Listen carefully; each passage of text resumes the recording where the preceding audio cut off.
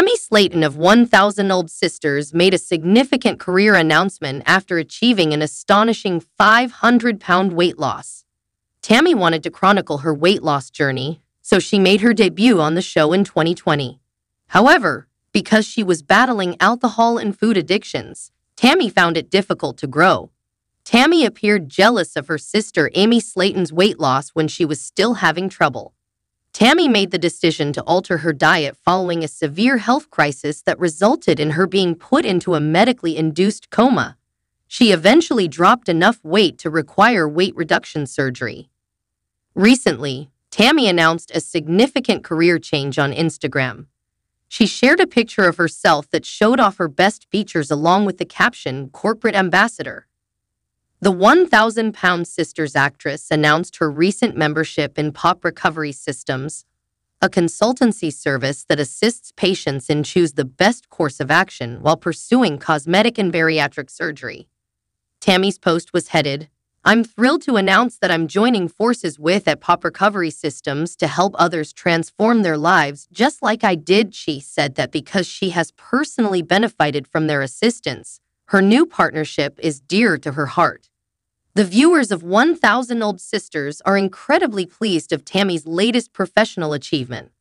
Apart from her remarkable 500 pound weight loss, the reality TV personality has committed herself to supporting others in their fight against obesity. At Granny Mary underscore crafter, a social media user, gave Tammy praise and encouragement on social media, writing, You're the finest. You succeed, girl. Seize your aspirations. Tammy's weight loss metamorphosis was praised by another user at GymCloud who remarked, You are a completely different person. Continue moving forward.